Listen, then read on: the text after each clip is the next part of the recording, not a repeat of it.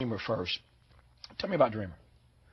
Oh, well, um, when I saw the uh, State of the Black Union, Dick Gregory uh, really moved me and a lot of my friends. I show it to everybody that comes over the house, especially white folks, because they need to hear that, you know, so that they know more about all of us. Mm -hmm. Because um, what he said affects all of us.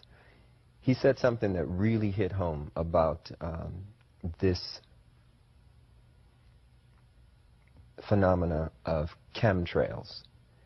And, you know, when I was a kid, I used to see these trails in the sky all the time. And so oh, that's cool. A jet just went over. And then you started to see a whole bunch of them. And the next thing you know, everybody in your neighborhood was fighting and arguing, and you didn't know why. Okay? And, and you really didn't know why. I mean, everybody was fighting. So he he started riffing about the chemtrails. And he started to say things that uh, hit home so hard. And I would recommend that everybody try to get what he said online or wherever and try to get a copy of it and just listen to it.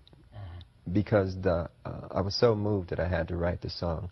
The other thing is the first line of the song says I was born uh, on the same plantation in the United States of the red, white, and blue.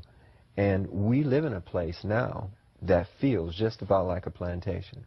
We're all indentured servants.